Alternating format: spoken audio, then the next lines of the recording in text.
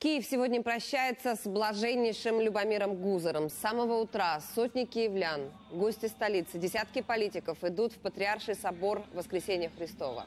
Там сейчас находится моя коллега Елена Зорина, она с нами на прямой связи. Лена, здравствуй, я передаю тебе слово.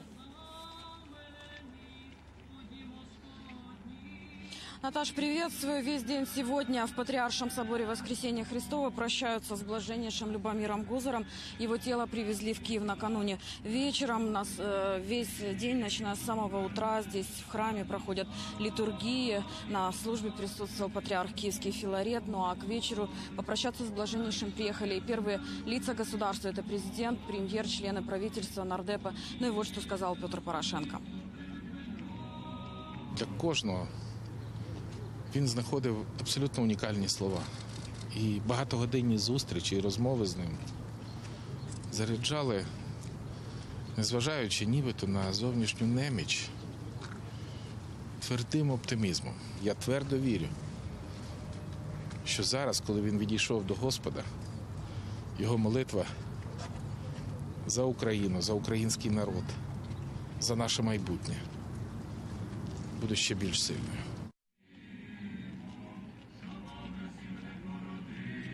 Ну и хочу сказать, что желающих попрощаться с блаженнейшим э, э, Любомиром Гузером очень много возле церкви и внутри огромная очередь. В ней стоят не только обычные украинцы, но и знаменитости, такие как, к примеру, фронтмен группы «Океан Эльзы» Святослава Карчук. И вот что говорят люди.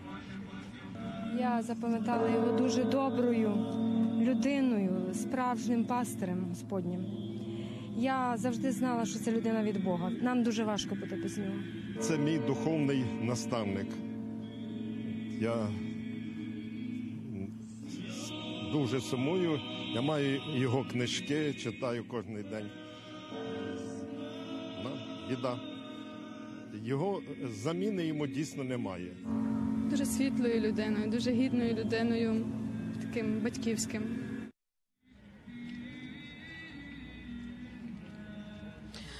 А уже завтра в этом соборе начнется траурная литургия. Во дворе храма блаженнейший будет и погребен в крипте. Это специальная усыпальница. Она была спроектирована тут давно, но последние отделочные работы заканчивают только сейчас.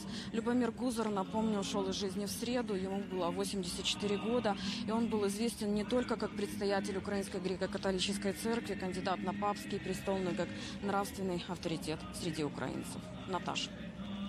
Спасибо, Лена. Елена Зорина о прощании с Любомиром Гузером в столице.